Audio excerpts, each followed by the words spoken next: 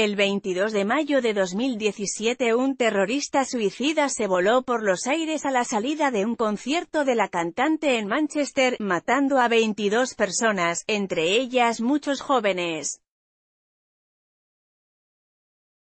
La cantante estadounidense Ariana Grande sufre síntomas del síndrome de estrés postraumático desde el atentado terrorista de hace un año en su concierto en Manchester, según confesó a la revista Vogue en una entrevista, es difícil hablar de ello porque tantas personas sufrieron una pérdida tan grave y tremenda, dijo.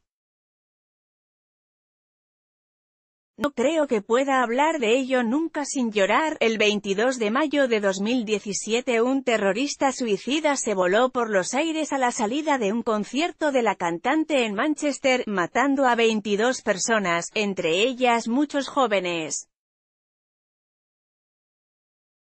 Alrededor de otras 800 resultaron heridas o quedaron traumatizadas.